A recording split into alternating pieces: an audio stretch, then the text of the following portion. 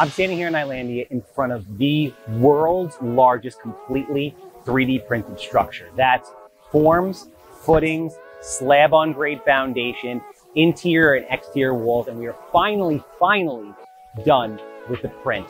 We have nine foot interior walls, we have cathedral ceilings. This house is gonna be 2,000 square feet of absolutely magnificent automated technology.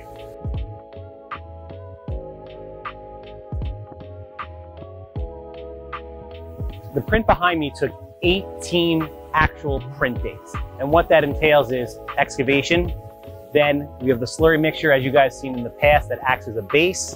We 3D print the forms, which traditionally are made out of wood and then backfilled with concrete, but we 3D print and backfill.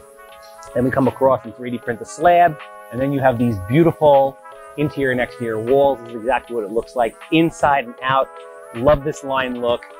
And with this particular project, what we're gonna do is we're gonna keep it this way just to accent and embrace exactly what this is. But the cool thing about 3D printing is it's super versatile. You make it flat, you can print it, you can go over with siding, you can do anything, but at the end of the day, you have a far, far, far superior product. Fireproof, insect-proof, waterproof, and built like a literal brick shithouse.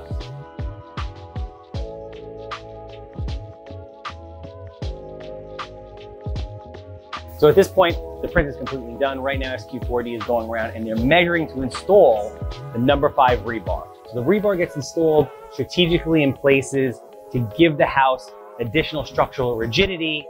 And that's why they're able to give the warranties that they're able to. And that's why these things last longer than anything out there. After they've done that, on Monday, the uh, installation company is going to come by and they're going to install the open cell spray foam insulation. They're going to fill both the interior and exterior walls, which truly makes this the most energy efficient or one of the most energy efficient houses out there.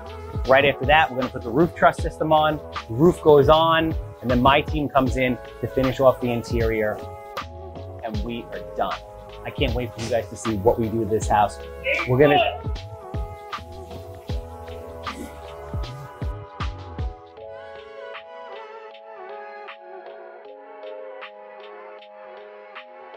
Please tell us about this, what it is, how it's being installed, how necessary, and all things rebar. Sure. So in our house, we have both vertical and horizontal reinforcement. Uh, right now, we're putting in the vertical reinforcement. That's those large pieces of rebar here. Um, so these have a yield strength of about 50,000 PSI. Um, and the yield strength is the strength it takes uh, to plastically deform a structure uh, before it is no longer able to function. Um, so the already very strong concrete is now being reinforced with even stronger rebar. Uh, so this house is not going anywhere. So where does the rebar get installed? It gets installed all throughout, every X amount of feet, just around windows and exterior doors? Yep, so we have structural support columns scattered throughout the house. Uh, around each of the windows and doors there's one. Um, and then along the walls as well there are several. So um, the interior and exterior walls both have them. Uh, and mostly uh, load-bearing walls is where we really need to concentrate the strength. So that's mostly the exterior. Uh, and that's where all of the structural support vertical columns are. And then throughout the whole build, we also have horizontal support that, so support that also goes between the layers. So basically, if it's a toss-up and you're a betting woman, are you a betting woman? Can be. You've known to, to, to roll. What's, Time what's, to time. what's your game?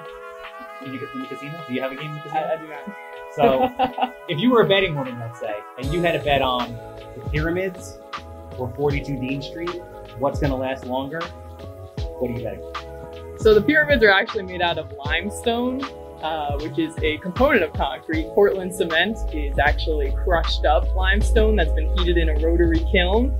Uh, but the fact that they just have the big chunks of limestone is really helpful.